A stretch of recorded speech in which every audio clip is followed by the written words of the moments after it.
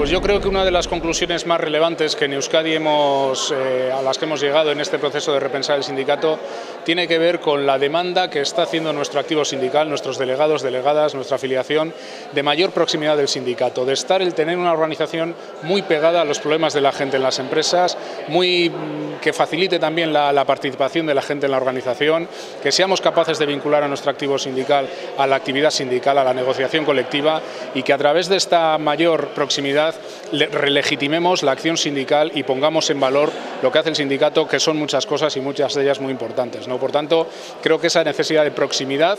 y cómo adecuamos nuestras estructuras para estar más cerca de la gente, para poder cumplir una función en la empresa y en la sociedad, el papel también sociopolítico del sindicato, creemos que es la gran demanda que nos ha trasladado la gente y es sobre la que Comisiones Obreras tiene que reflexionar en el próximo periodo.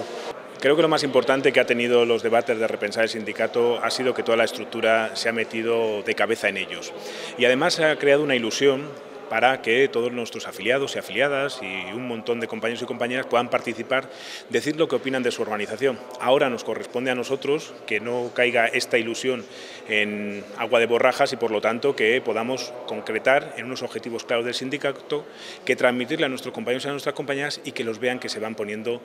de manifiesto y que se van haciendo actuaciones que ellos puedan visualizar como que su participación no solo es importante, sino también trascendental para el futuro de esta casa, que además lo necesitamos.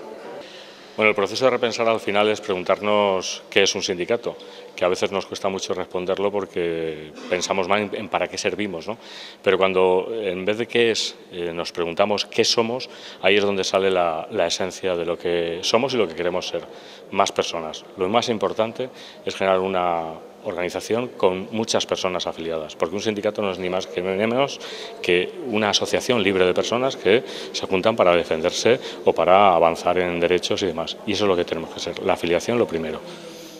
Tenemos que afiliar, ser más, para poder organizarnos mejor en las empresas, generar sindicato en la empresa, podernos presentar a las elecciones sindicales y con buenos resultados, mejorar las condiciones en los convenios colectivos, porque la gran herramienta del sindicato y de la sociedad democrática es la negociación colectiva ligada a la libertad sindical. Sin libertad sindical, sin negociación colectiva equilibrada, no hay democracia.